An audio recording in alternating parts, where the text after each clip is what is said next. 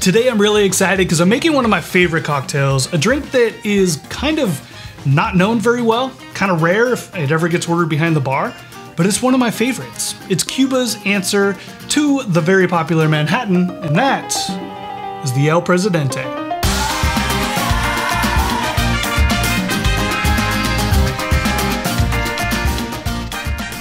So the El Presidente was created by an American bartender, Eddie Woelke, while bartending at the Jockey Club in Havana, Cuba.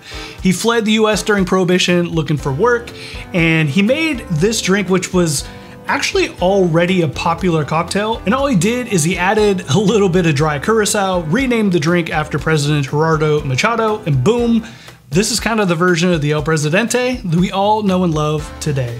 So let's talk about what you need to make the drink.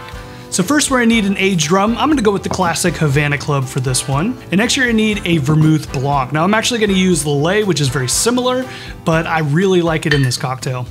And then we're gonna need a dry Curacao and some grenadine. And lastly, we're gonna need an orange for the orange peel as a garnish.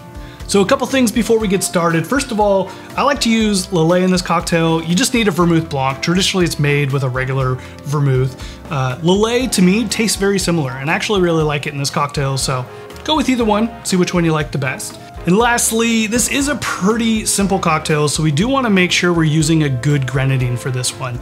I'll link up my grenadine recipe right here, you guys can go check out. It's really easy to make, or I'll link some of my favorite grenadines that you can buy down below. Just make sure you get a good one for this cocktail. And that's pretty much it. Let's build the drink. We're gonna be stirring this cocktail, so go ahead and grab your mixing glass. And the very first thing we're gonna do is add one quarter of an ounce of dry curacao. Then we're gonna add one and a half ounces of our vermouth blanc. Then we're gonna add one and a half ounces of our aged rum. And lastly, we're gonna add one bar spoon of grenadine.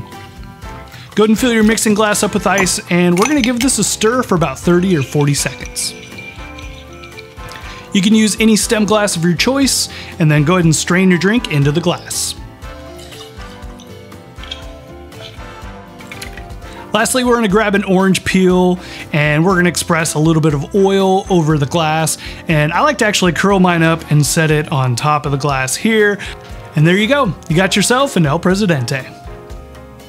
Not gonna lie, I'm pretty excited about this one, so let's give it a try. Mm. That is so good, so well balanced. You get a little bit of that burnt sugar from the aged rum. You get orange flavor. You get some herbalness from the Lillet Blanc and a little bit of tartness from the grenadine. It's super delicious, very well balanced.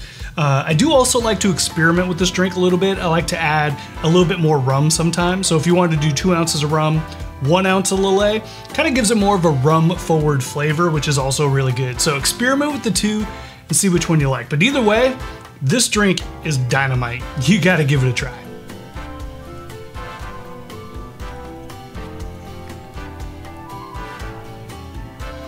Thank you so much for tuning in. If you enjoyed the video, like, subscribe, tell your friends about the channel. You know what to do. We'll catch you in the next one. Cheers.